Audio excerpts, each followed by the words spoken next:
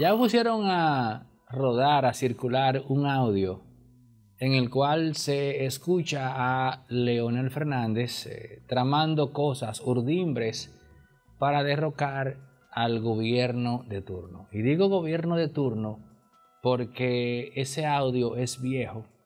Ese audio se corresponde con el año 2003, 2004, cuando faltaban pocos días para las elecciones del 2004, en donde Leonel ganó de manera avasallante. Ese audio es de aquel entonces. Y caramba, vamos a escuchar ese audio y volvemos con la reflexión. ¿Cuánto estamos hablando, profesor? Estamos hablando entonces de 8 millones de pesos ahí. ¿Se puede sobrar más? Sí, habrá más. Porque hay alguna persona que necesita que usted se comprometa para poder darle dinero. Nos podemos comprometer con todas. Ujú, Perfecto. Nosotros tenemos que medir dos momentos. En un primer momento, el tema dominante es el tema de la crisis. El como nosotros de esta situación de desestabilización podamos generar la inflación para que podamos ganar las elecciones. Pienso que eso es lo prioritario. Eh, yo creo que las cosas están a nuestro favor. Solo tenemos que asegurarla bien sacando más dinero del país. Si somos exitosos, como lo espero, yo diría que ahí están los elementos para que podamos generar un decrecimiento y por tanto el país no progresa. Hay un asunto que no habíamos discutido. Ellos están solicitando que cuando gane ponga ahí en la Junta Monetaria y en otra área de financiera al hermano del número uno. A un tipo, hay un sujeto que no me dijeron el nombre. Ahí no habría inconveniente. No, y eso también En la medida en que vayamos profundizando la crisis, ¿qué va a pasar? El ascenso nuestro al poder. El asunto con Juanito, por si perdemos la primera vuelta, está preparado. Ya todo está listo, la gente ya sabe qué hacer. Con eso hemos de tener un poco de prudencia. Hay que hablar de los detalles con él personalmente. Correcto. Hay mucha gente, hay mucha gente. Se escucha en ese audio a Leonel Fernández dar instrucciones, pero también se escucha a una persona eh, de voz desconocida hacerle preguntas al expresidente y recordarle algunos compromisos que se van a adquirir en función a lo que él está solicitando.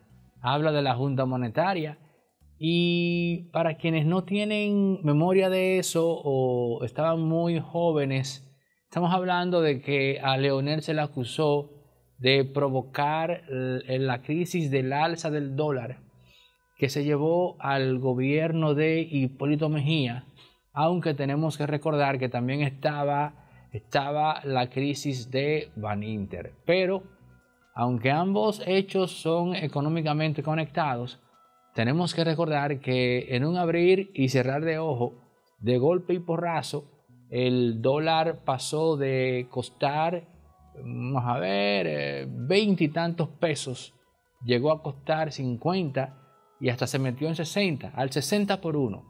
Cuando Leonel volvió, el dólar bajó a 28. Ahora bien, ¿qué es lo que tenemos que sacar en cuenta de este bendito audio? Lo primero es que a todas luces este audio no sale del PLD.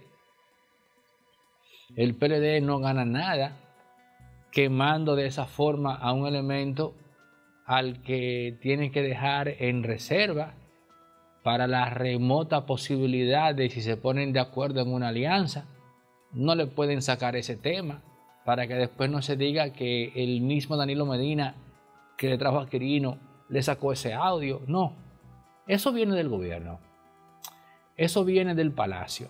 Y el peligro con este tipo de maniobras es dejar el mensaje de que Leonel Fernández es el virtual ganador y que el gobierno está desesperado, que en el palacio no encuentran qué hacer con él y que por eso no solo le inventan un audio, sino que le sacan un asunto inventado del pasado, porque así es como lo van a ver aquellos que entienden que ese audio no es verídico. Y caramba, se puede decir que la actuación de la persona que está hablando con Leonel es pésima. No se escucha natural Y eso de inmediato nos hace sospechar que en verdad el bendito audio es falso de cabo a rabo, que no se trata de un Leonel Fernández hablando con alguien de confianza cuya voz fue suplantada, sino que se trata de un imitador de Leonel que lo hace bastante bien y de, y de, un, de un elemento que no sabe actuar eh, de manera orgánica y convincente sus líneas. Eso es lo que se deja ver en ese audio. Ahora, yo les diré algo. Yo no puedo decir que ese que estoy es Leonel, que ese que habla tan grosera y burdamente, no, que tal cosa, mueve todo para allí, tan, tan, tan. Yo no puedo decir que ese es Leonel. Ahora, yo sí puedo decir algo. Los políticos dominicanos así es que hablan. Si ese es Leonel, sí lo es. La persona con la que él está hablando, que no es el elemento que se escucha en esa nota de voz, es una persona de su íntima confianza. Pero es así como hablan los políticos dominicanos. No quiere usted escuchar a un político dominicano tratando de zanjar un tema en la privacidad, de cómo agarrar a fulano y contentarlo, de cómo comprometer a fulano. Así es que hablan. Las dos veces que yo escuché hablar a Danilo Medina de ahí a ahí sobre esos temas, usó ese mismo código usó ese mismo lenguaje. Estamos hablando del año 2007. Yo tenía veintitantos años cuando eso. Y me tocó ir al comando de campaña. Una reunión muy privada en donde se estaba trazando la hoja de ruta para enfrentar a Leonel Fernández por la candidatura presidencial del PLD. Recordemos que Leonel era el presidente. ¿Y que se hizo? Una convención interna en donde Danilo le sacó un 30%, que hay quienes dicen que no era un 30, sino que era un 40 y tanto, y que a Leonel le iban a dar un susto, a no ser por el hecho de que Félix Bautista se puso en el medio y logró parar eso en seco e hizo, provocó que el maestro siguiera transitando sin problemas. Alfredo de la Cruz, en un análisis brillante, plantea que esa disputa entre Leonel Fernández y Danilo Medina no debió continuar después del año 2012 porque todo lo malo que le hizo Leonel a Danilo entre el 2007 y el 2011 quedó sanado, quedó pagado con, con todas las maniobras que hicieron Leonel y Félix Bautista para que en efecto Danilo fuera el presidente en el año 2012. Y me parece que Alfredo de la Cruz tiene bastante razón en ese planteamiento. Pero entonces, usted ve cómo el asunto se dio y ya usted sabe en qué paró eso. La división del partido y la salida del poder. Pero saben que yo no me quejo de eso. Yo no me quejo de eso porque tenía que darse un relevo en el Palacio Nacional. Nuevos inquilinos tenían que venir ahí, para bien o para mal. Pero históricamente, en términos holísticos, se necesitaba tener otro rostro en el Palacio Nacional. Ahora, este audio es indicio de una sola cosa. Bueno, del tipo de campaña que viene. Y si ya le sacaron un audio a Leonel, eso significa que están dispuestos a sacarle cualquier cosa. Pero también significa que a menos que estén dispuestos a sacarle cualquier cosa, el asunto no va a pasar a mayores. ¿Y por qué no va a pasar a mayores? Porque le sacaron un fiambre. Si le sacaron un fiambre a Leonel Fernández es porque no tienen novedades, no tienen cosas frescas o nuevas que sacarles, a no ser que Leonel en estos meses meta la pata y le pinchen el teléfono con algo comprometedor. Pero en todo caso, eso está por verse. Ahora, usted, cuando escucha ese elemento hablando como Leonel, usted dirá, ese es Leonel. Yo particularmente entiendo que no es Leonel porque la persona que suena ahí es eh, muy mal actor. Y si eso es un fake, pues entonces yo asumo que el que habla como Leonel también lo es.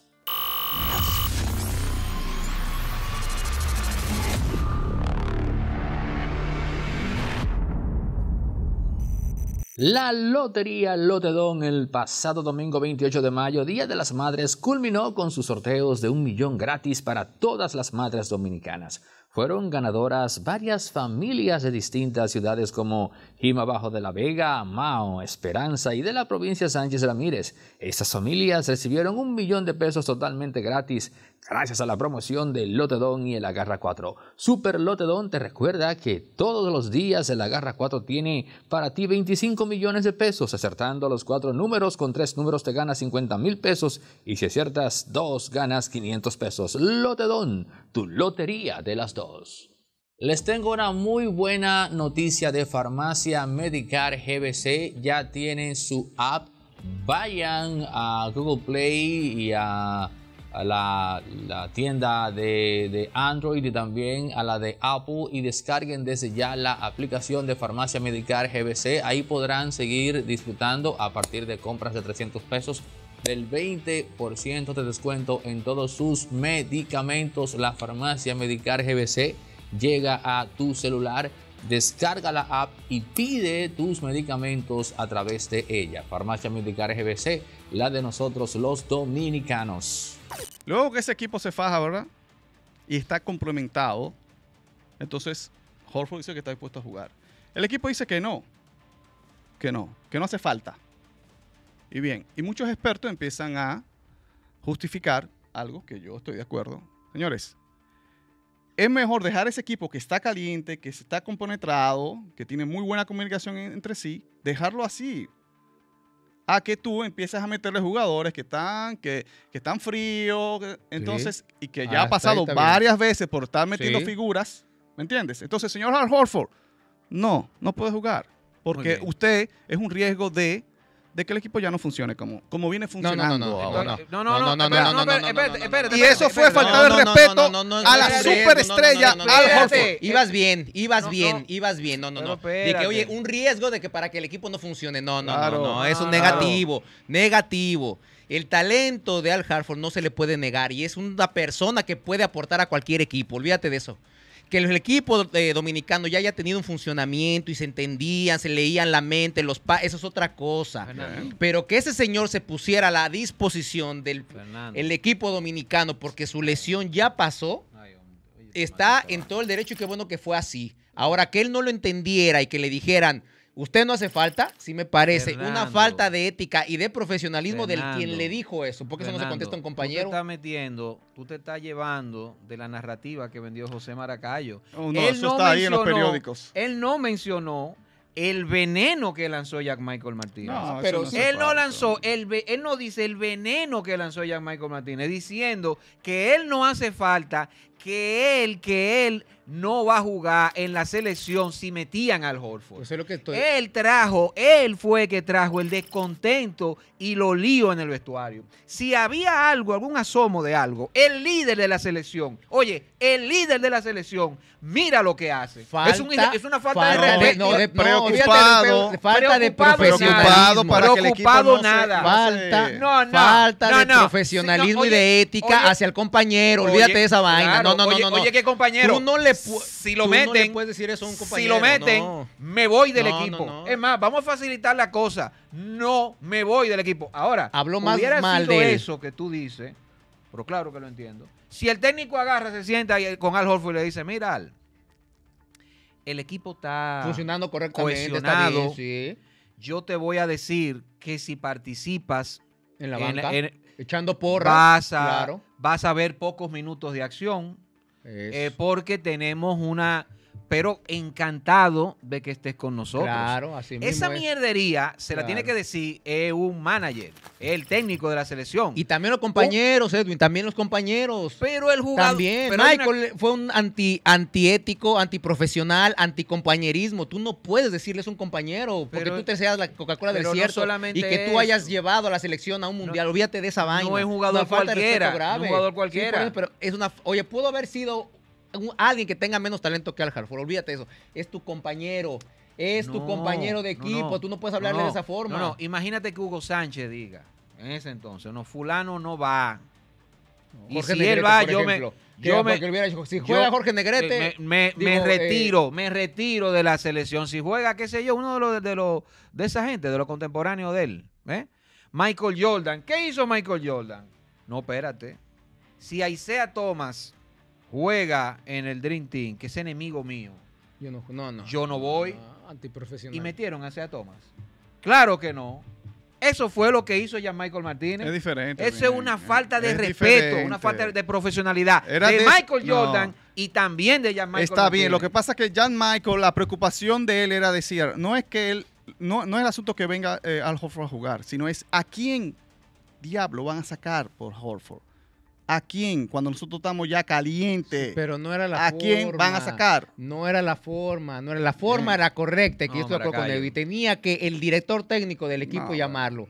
Qué bueno que estás a la disposición del equipo. Bienvenido, compañeros, bienvenido al Hartford, pero te vas a quedar en la banca. ¿Por qué? Porque el equipo está jugando correctamente y estamos haciendo lo que el director Ahora, yo, nos quiere. una cosa, pero entonces el otro también tenía que tener la humildad también, el Al Hartford, de decir, ok, está bien voy a ir y voy a estar en la banca, voy a hacer un apoyo moral, porque estás hablando de deporte. Y estás hablando de una disciplina que tiene que poner el ejemplo para los niños. Y el, y el fútbol o el cualquier deporte no solamente es dominar la técnica del, deporte. El deporte va más allá de lo físico. Va en la mentalidad, la forma de, ser, la ética, la profesión, el respeto al compañero, el respeto al rival. Cosa que no tiene su propio compañero para tú decirle, no haces falta. El baloncesto, el baloncesto es, un, es un deporte de equipo. Todos. Bien.